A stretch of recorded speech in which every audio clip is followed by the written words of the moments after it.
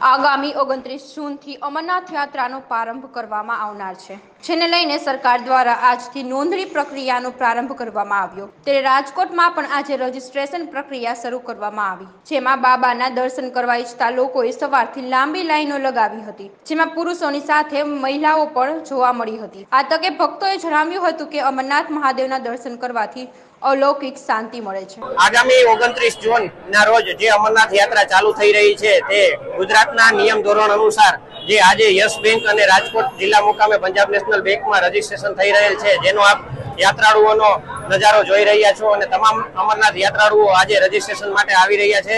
કાલે રાત્રે અગિયાર વાગ્યાથી બધા યાત્રાળુઓ લાઇનમાં ઊભા રહેલ છે. જે વન બાય વન સાઇટ પ્રમાણે અને શ્રાઇન બોર્ડના નિયમ અનુસાર યસ બેંક અત્યારે રજીસ્ટ્રેશન કરી આપેલ છે. આ જ રીતે પંજાબ નેશનલ બેંકમાં પણ રજીસ્ટ્રેશન થાય છે અને અમરનાથ યાત્રાળુઓ તેનો લાભ લે છે. ટોટલ ઓગણત્રીસ જૂનથી ઓગણીસ ઓગસ્ટ સુધી યાત્રા ચાલુ રહેવાની છે. હું આ વખતે પચીસમી વખત દાદાના મહેરબાની હશે તો દર્શન કરીશ. સર, દર વર્ષે બાબાના દર્શન થાય, એ જ અમારો લાવો છે અને દાદા અમને દર વર્ષે બોલાવે છે અને અમે આનો દર્શનનો લાભ લઈએ છીએ.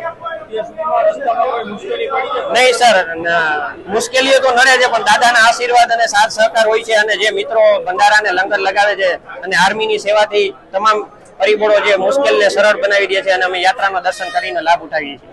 માધવ પંડ્યા સાહેબ, દર વર્ષે અમરનાથ યાત્રા કરવી